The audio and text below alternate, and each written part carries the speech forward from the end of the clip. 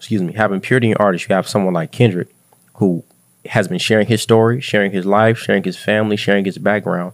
So What's up, everybody, and welcome back to another episode. So, while fans expected a special guest or two during Kendrick Lamar's Juneteenth concert, Ken and Friends, the pop out, it came as a surprise when the rapper brought out 25 artists on stage. Taking place at the LA Kia Forum, the one night only show saw Kendrick Lamar enlist a squad of his friends and collaborators, all of whom are from or currently based in LA. Among the mix were Tyler the Creator, YG, Roddy Ricch, Ty Dolla Sign, Dom Kennedy, and Steve Lacy. DJ Mustard, who produced Kendrick Lamar's diss, Not Like Us, played a set. Dr. Dre was another name on the bill, performing Still Dre and Tupac collaboration California Love. Kendrick revisited classics with performances of DNA, Element, Swimming Pools, and King Kunta. Elsewhere during the show, DJ Mustard paid homage to the late Nipsey Hussle with a moment of silence. Kendrick also reunited with his fellow Black Hippy members, Ab-Soul, J-Rock, Schoolboy Q. Jay Rock joined him for Money Trees while Ab-Soul assisted with 616 in LA. Then Kendrick performed Not Like Us five times in a row. don't have all the answers. But if you if you had an idea of what the next big thing could be mm-hmm. after the moment that we just recently witnessed, I think the word that you said to me that's most important in that statement is being able to witness it mm-hmm. and it being cemented in history for the rest of the world to see. Uh, and that's a big you know thanks to Tim. That's a big thanks to to Dot as well. It's it's interesting because the unity and the camaraderie been here since the 90s. Like big in part to Jim Brown doing a lot of groundwork. Big in part of a lot of dudes from these neighborhoods, from these communities doing the groundwork. Um, I think the rest of the world knowing is important because if the rest of the world sees it and the rest of the world can champion it and we see progress being championed and if we can see progress being championed then more people lean towards progress because we all want to be championed it's mm-hmm. human nature. Mm-hmm. I think when we think about relationship that top has with certain dudes. And my conception these people that have been in music that have been in the streets that are very important and very vital. You think about the fact like oh it's always been connectivity amongst these neighborhoods. It's always been connectivity amongst these people. We just don't get to see behind the curtain that much. And that's the privilege of having purity in artists. Excuse me having purity in artists. You have someone like kendrick who has been sharing his story, sharing his life, sharing his family, sharing his background. So he's comfortable sharing the progress. He's comfortable pulling the veil. You get what I'm saying?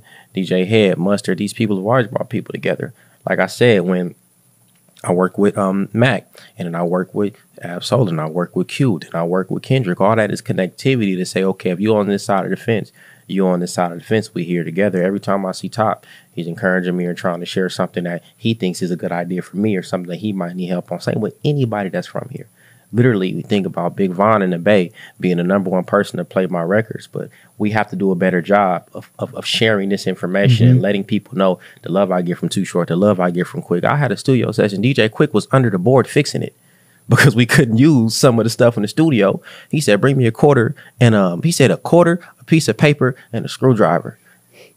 And it's like, not tools, by the way.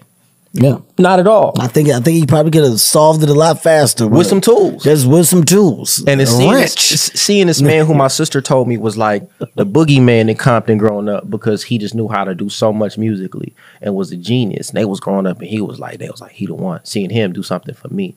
But we got to do a better job of sharing that. Yeah. And I think he did a good job of sharing and showing the unity and camaraderie because the crazy thing about it, everybody up there knew each other. Yeah. Everybody up there rock with each other. Everybody up there support each other. But I don't think the world knows that. Yeah.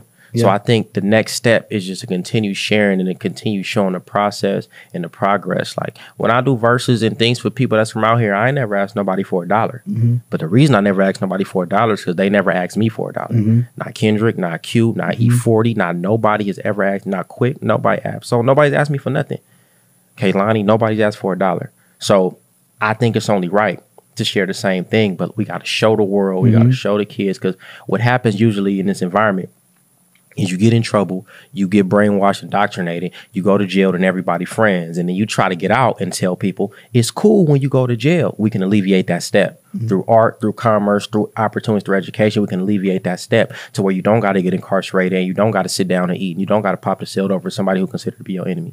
Now we can see through this art and through our creativity that we are all on the same page if we want to be. Mm-hmm. And I, I really think we should be grateful for what we saw because it's always been camaraderie amongst Crips and Bloods. It's always been camaraderie around black people when it comes to music and certain things. Of course, we all have our tips. That's humanity. But a, for a large part of time, we believed that it was just straight up whole banging, set tripping, and when, when when the rest of the world, I mean, but out here we always knew it just depends. It's mm-hmm. case by case mm-hmm. basis, and if it's a case by case basis, if we show so much overwhelming support and love, it's impossible for it not to change. Mm-hmm. And don't have all the answers. But if you if you had an idea of what the next big thing could be after the moment that we just recently witnessed, I think the word that you said to me that's most important in that statement is being able to witness it and it being cemented in history for the rest of the world to see. Uh, and that's a big you know thanks to Tim. That's a big thanks to to Dot as well. It's it's interesting because the unity and the camaraderie been here since the 90s. Mm-hmm. Like big in part to Jim Brown doing a lot of groundwork. Big in part of a lot of dudes from these neighborhoods, from these communities doing the groundwork.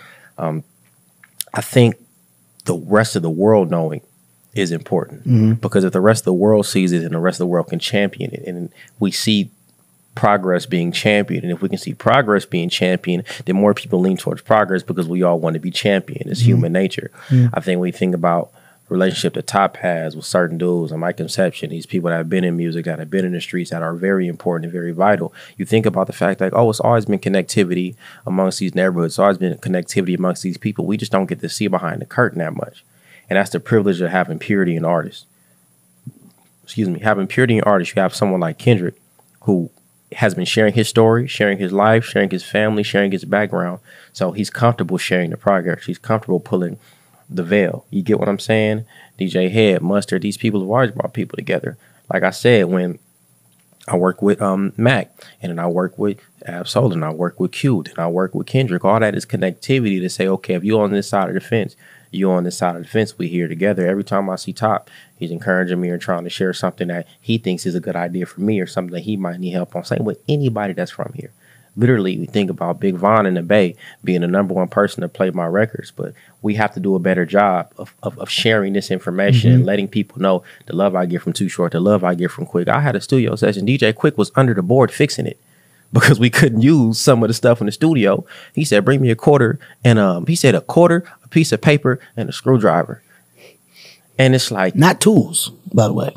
Yeah, not at all. I think I think he probably could have solved it a lot faster With some tools. Just with some tools And it's seeing this, seeing this man who my sister told me was like the boogeyman in Compton growing up because he just knew how to do so much musically and was a genius. And they was growing up and he was like, they was like, he the one. Seeing him do something for me.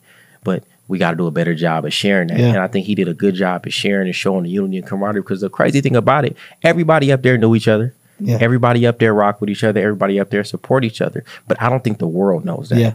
So I think the next step is just to continue sharing and to continue showing the process and the progress. Like when I do verses and things for people that's from out here, I ain't never asked nobody for a dollar. Mm-hmm. But the reason I never asked nobody for a dollar is because they never asked me for a dollar. Mm-hmm. Not Kendrick, not Q, not E40, not nobody has ever asked, not Quik, nobody asked. So nobody's asked me for nothing.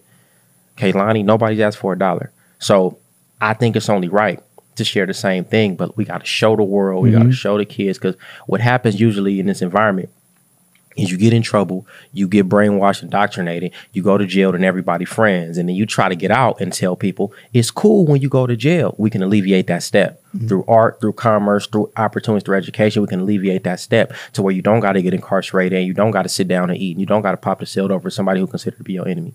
Now we can see through this art and through our creativity that we are all on the same page if we want to be. Mm-hmm. And I, I really think we should be grateful for what we saw because it's always been camaraderie amongst Crips and Bloods. It's always been camaraderie around black people when it comes to music and certain things. Of course, we all have our tips. That's humanity. But a, for a large part of time, we believed that it was just straight up whole banging, set tripping. And when, when, when the rest of the world, I mean, but out here, we always knew it just depends. It's mm-hmm. case by case basis. Mm-hmm. And if it's a case by case basis, if we show so much overwhelming support and love, it's impossible for it not to change. Mm-hmm. And